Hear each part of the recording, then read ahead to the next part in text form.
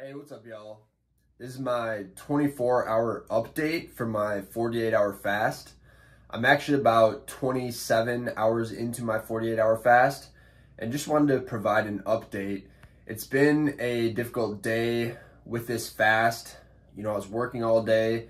It was a little hard to focus and had some hunger pangs throughout the day, but I'm feeling good now.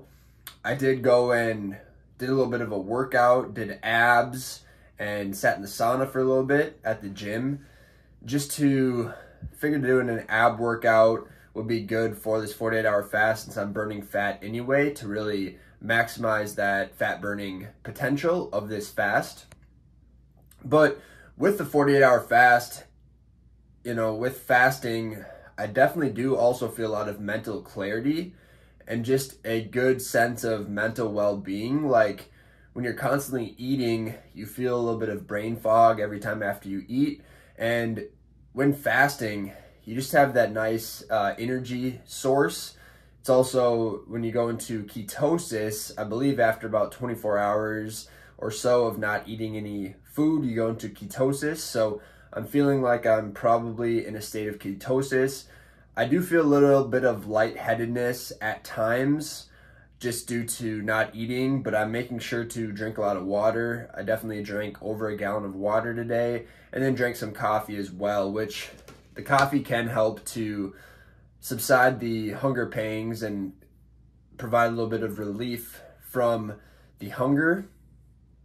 But uh, it also doesn't have any calories when you just drink black coffee, so it is a good beverage to drink while fasting.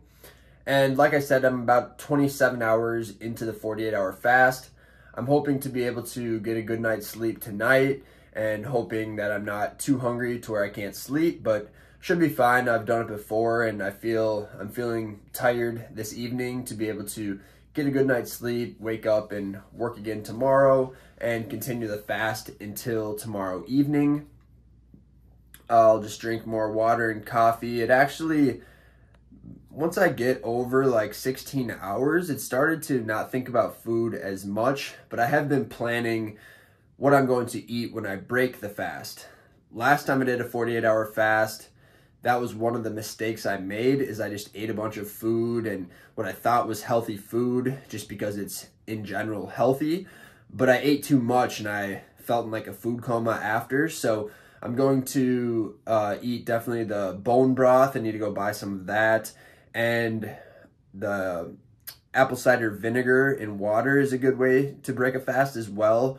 Possibly some watermelon as well. And when breaking a fast, when you do like a 48 hour fast, you want to just eat a very small meal at first, and then maybe a couple hours later, a few hours later, you can eat a little bit more. But you want to ease yourself into it when breaking a fast to maximize the results of the fast and also to not put yourself into a food coma.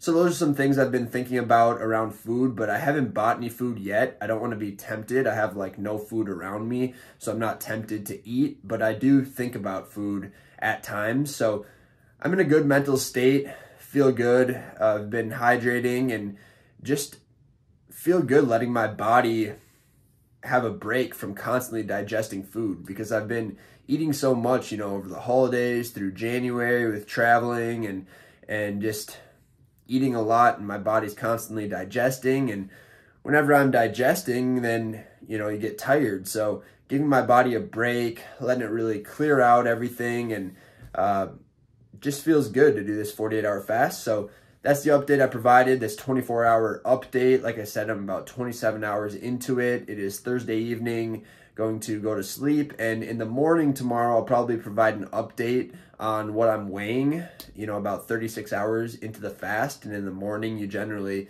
weigh the, le- uh, the, the least. So I'll provide an update on my weight tomorrow morning.